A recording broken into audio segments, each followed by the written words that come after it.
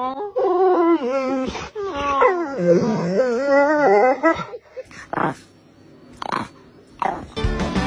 got my boots, I got my hat.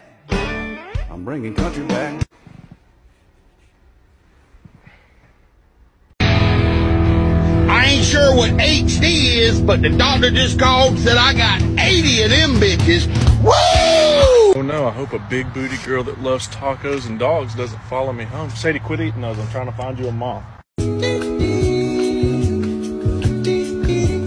This is how you tell the difference between a purebred dog and an inbred dog. This is a purebred dog. And this is an inbred dog. See?